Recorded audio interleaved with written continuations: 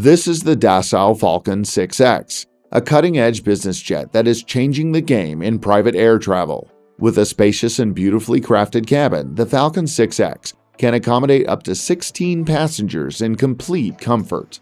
But what sets the Falcon 6X apart is its exceptional speed and range.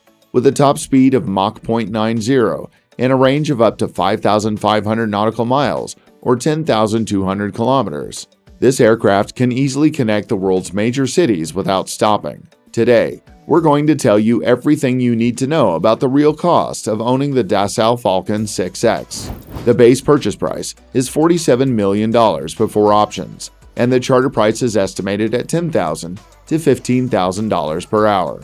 Naturally, prices will vary depending on availability, fuel prices, ground fees, and more. There are two expense categories to consider fixed costs and variable costs. Fixed costs are those that you pay no matter what. Whether the aircraft flies or not has no effect on them, and they do not change in relation to the number of hours flown.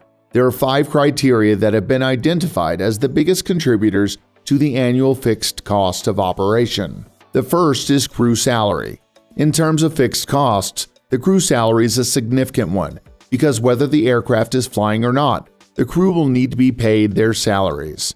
This will vary depending on region and aircraft type, as the cost of labor in certain parts of the world is lower than in others. Additionally, larger aircraft require more crew. Crew salary is estimated at 700,000 to $950,000. The second is crew training. This is a cost that will keep occurring every year, whether your aircraft flies or not. Having well trained crew members is important as they're integral to the safe and efficient operation of your aircraft. Crew training is estimated at 90,000 to $120,000. The third is hangar. When it comes to aircraft storage, there are two options hangar or tie down. In most cases, owners are not going to let their planes sit out in the wind and rain. Therefore, it is a safe assumption that most private aircraft will be stored in hangars when not in use. Hangar is estimated at 80,000 to $100,000. The fourth is insurance. In simple terms, there are two essential types of insurance that private planes must have. The first is liability insurance. This provides cover against loss, damage, or injury to third parties, such as passengers, cargo, and baggage. The second is hull insurance. Hull insurance policies are agreed on the value of the aircraft. Therefore, in the event of total loss, insurers will pay the agreed value as opposed to the current market value. These are two essential pieces of insurance for private planes. However, owners may also wish to consider aviation hull war insurance and crew insurance. Aviation hull war insurance provides cover for loss of the aircraft due to war, hijacking, confiscation, malicious damage, and other similar risks. This is typically chosen by owners who will be flying into hazardous destinations. Crew insurance allows pilots and crew members to be provided with an enhanced employee benefit package, such as including loss of license cover, personal accident cover, and travel insurance. Insurance is estimated at 50,000 to $75,000. The fifth is management. An aircraft management team provides all the necessary services required to fly the aircraft.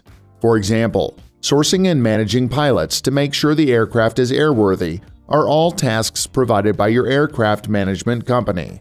Of course, there is the option of so called self management, where the management tasks are left with your pilot in command. However, this option is rarely selected. Therefore, in the ownership cost example, we assume an aircraft management company is involved. Management is estimated at $80,000 to $100,000. And finally, miscellaneous fixed. The miscellaneous fixed costs are made up of everything that doesn't fit into the above categories. Things such as fees for charts, software, and computers to manage your aircraft will be in this category. Miscellaneous fixed is estimated at $30,000 to $45,000.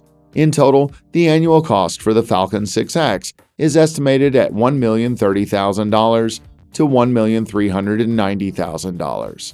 Variable costs, on the other hand, are directly proportional to the number of hours the aircraft flies per year. The more you fly the aircraft, the more it will cost to you. Because of this, the estimated variable cost is presented as an hourly figure. There are four factors that we have built into the hourly variable cost figure. The first is fuel. Fuel costs are a significant hourly expense when operating a private plane.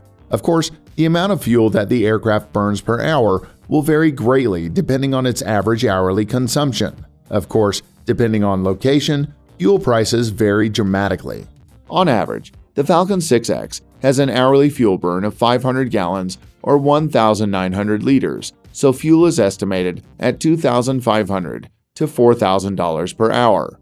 The second is maintenance. In order to ensure that aircraft are safe to fly, they require maintenance at regular intervals. These intervals are scheduled and dependent on the manufacturer's guidelines. Maintenance is scheduled based on the number of hours flown. For example, a certain aircraft may need an inspection every 100 hours. Additionally, these maintenance events are in direct relation to the number of hours that the aircraft is flown. Therefore, the more the aircraft flies, the more maintenance it will require. However, this cost also takes into account any unexpected maintenance events. For example, a bird strike or blown tire will introduce an unexpected maintenance check.